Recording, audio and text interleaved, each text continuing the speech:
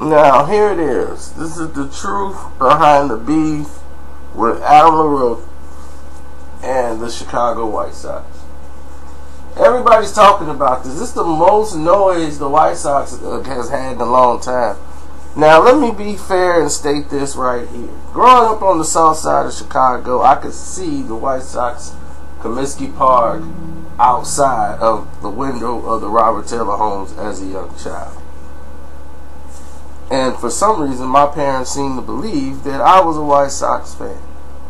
I liked Harold Baines. That was it. You know, Carlton Fisk was on the team. I think he was alright. But mostly it was Harold Baines. That's the person I related to the most. Other than that, the team sucked. I was a Cubs fan. Because when I was growing up, the Cubs was contending they was going up against San Diego. They were going places. But Southside felt like this is our team because they here, right here in the ghetto. Comiskey Park. But it's not. It's really over the bridge. where it's a bunch of racist white people in Bridgeport, where Mayor Daley was from. So that's where the stadium was. We were actually across the street. Totally segregated. But let's stick to the point. I hate the White Sox. Hate them with a passion. I love my Cubs. So if this sounds a little biased, this may be biased. At all the times you said, man, that's biased. This might be biased. Because I don't like the White Sox. And it, it's fitting that they have the same owner that owns the Chicago Bulls, who I also hate. And because I don't like the organization, I think he's very demeaning when it comes to African Americans and don't understand their worth. And it's been known for a lot of things that happen here. When you don't want to pay Michael Jordan, what, I mean, come on, what does that say? I'm not even a Bulls fan, and I know that's stupid. Now, going back to this situation here. Last season, the White Sox had one of the worst seasons they've had in a long time. They got beat six ways to Sunday. And the Cubs soared. So when that happens, Sox fans go into dismal effect because they didn't see this happen.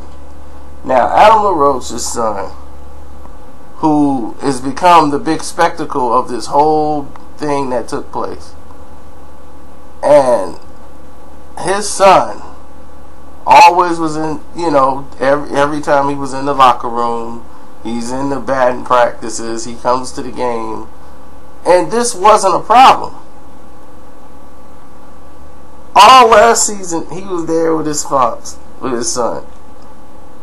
All the home games, he's right there in the locker room. His his uh 14 year old son. If I'm not mistaken, the son is 14 years of age. And he's not a problem. Whatever, he comes to the games and whatever, and there's no problems. He wasn't like, a, this is a bad kid, he's affecting us but when you're a losing organization, you put the GM in a compromising situation. Now, what I mean by compromising is that everybody's going to either want to bring their kids now to the game every day and bring them in the clubhouse. And the way the White Sox handled it was not probably the way that the way it should have been done. And what I mean, like, there's a, a easier blow I think they could have done to where the respect level would have had him still stay around. Meaning that Kenny Williams, who is African American, is the general manager of the White Sox he sometimes don't know how to talk to people. He don't know how to talk to the press. He don't know how to say the way he told it to the press is exactly the way he told it to the player. That's the best way to put it. And it's not good. And he's made this mistake numerous of times with other players. And basically, he's trying to tell LaRoche, uh, we're not saying Drake can't come to the clubhouse. And he was like, Drake, the, the artist? No, no, your son, Drake. he can't, we're not saying he can't come here no more. We're just saying it'd be a good idea if he stayed at home.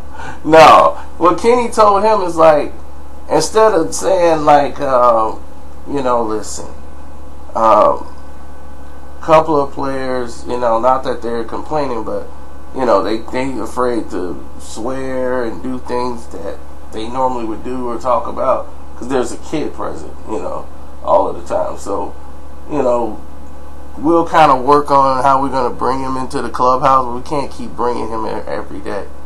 You know what what what job allows you to bring your kid to work every day? You know, and we can't have that here. You know, it was just the way he told it to him. It wasn't an embracing fact.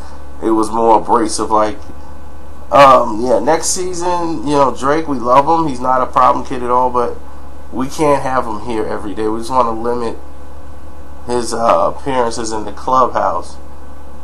And it was done in a disrespectful way. Now, Adam LaRoche was livid because he's like, why wasn't this a problem last year? If it wasn't a problem last season and he was here all the time, why is it a problem now? But see, Adam LaRoche, I would have gave him some tough love right then and there on the spot. And that's why I'm not a GM. Because I'd have told him flat out, I'm like, look, you suck. Last year you batted 200. You know, a DH batting 200 who played and started most of the games I mean, like, get serious. You bet 200, got like 12 home runs, a couple of RBIs, but look, look. You, you're scheduled to, you talking about leaving and retiring. He just saved the Chicago White Sox $13 million. Because he's like, I'm walking away from the game. The reason why he's walking away from the game is ain't nobody to pick him up. He's 36 years old. His best years was like four years ago when he won a Golden Glove.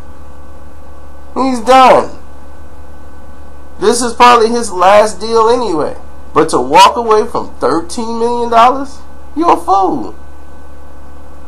He's a fool to walk away from $13 million. Your son would just have to sit his spoiled self at home. Everybody else got kids too. They can't bring their kids to to the clubhouse every day.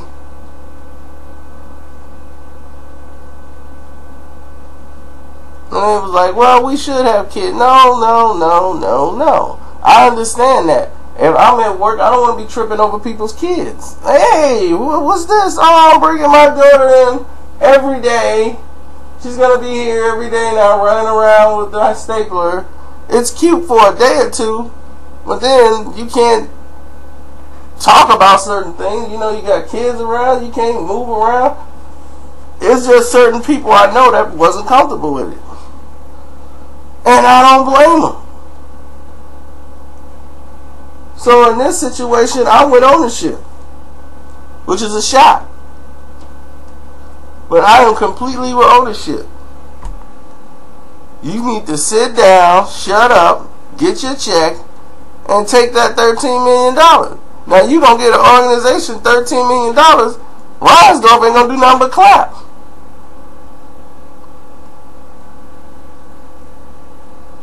So what do y'all think? Y'all let me know. I know the White Sox suck, and it's just a local problem because you know they're local. Don't nobody really care about him. But uh, tell me what you think.